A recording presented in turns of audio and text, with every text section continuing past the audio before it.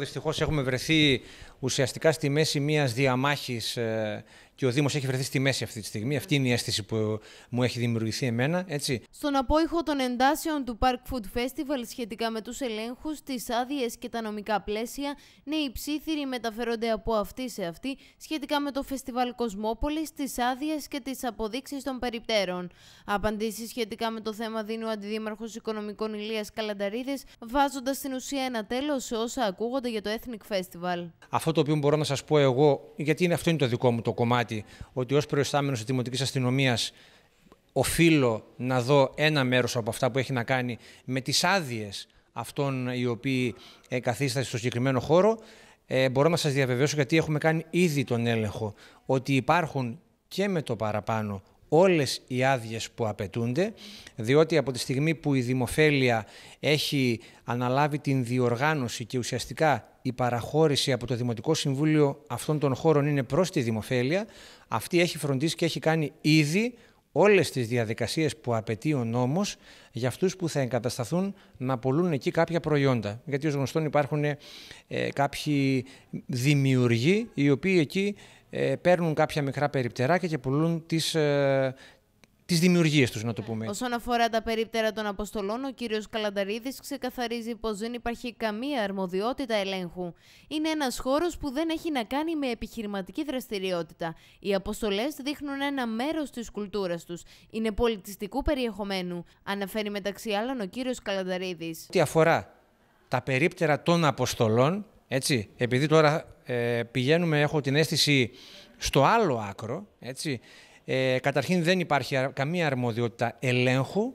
Ε, ουσιαστικά είναι περίπτερα τα οποία οι, χρησιμοποιούν οι αποστολές που έχουν έρθει από όλο τον κόσμο ε, έτσι ώστε να δείξουν ένα μέρος της κουλτούρας τους, του πολιτισμού τους, έτσι, έτσι ώστε ο επισκέπτης να δει τι ακριβώς συμβαίνει σε αυτή τη χώρα, να ενημερωθεί, να πάρει ένα τουριστικό φυλάδιο και πάει λέγοντας.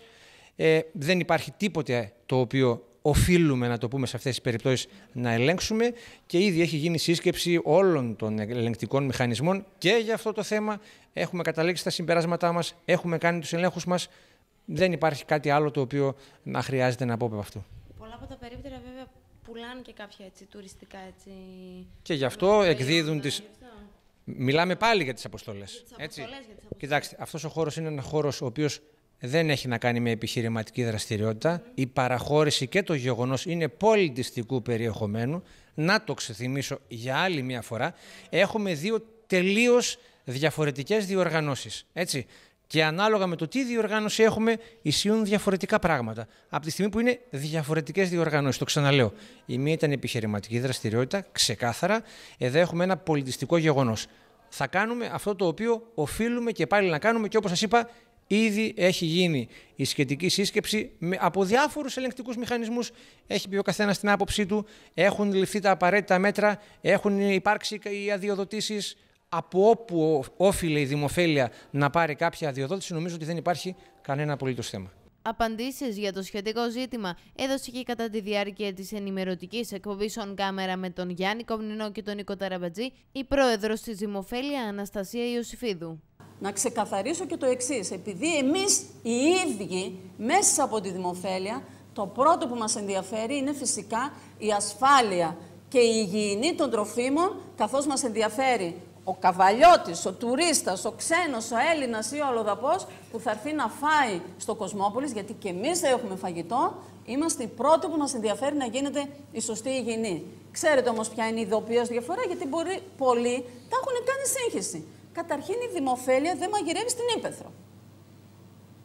Μαγειρεύονται, φρέσκο-μαγειρεύονται μάλλον θα έλεγα, τα, τα, τα, αυτά τα, αυτές οι γεύσεις που τις έχω και εδώ, έτσι, των χωρών, έτσι, για ναι. να πούμε κιόλας και ναι. από ποιες χώρες θα έχουμε φαγητό, Ναι, ναι. από την Ουγγαρία, τη Βραζιλία, την Κίνα και τον Παναμά. Ωραία. Αυτά. Έτσι, οι συνταγές είναι από τις χώρες αυτές, τα υλικά αγοράζονται την ίδια ή την προηγούμενη μέρα από καταστήματα της Καβάλας, μαγειρεύονται σε κλειστό, αδειοδοτημένο χώρο καβαλιώτικης επιχείρησης που πληρεί όλες τις προδιαγραφές, μεταφέρονται με ειδικό όχημα της συγκεκριμένης επιχείρησης, επαναλαμβάνω, που έχει τις αδειοδοτήσεις και μπορεί να μεταφέρει και διανέμεται πάλι από την επιχείρηση που έχει πάλι την άδεια για να μπορεί να διανέμει φαγητό σε απόλυτα ε, υγιεινές περιβάλλον και με, α,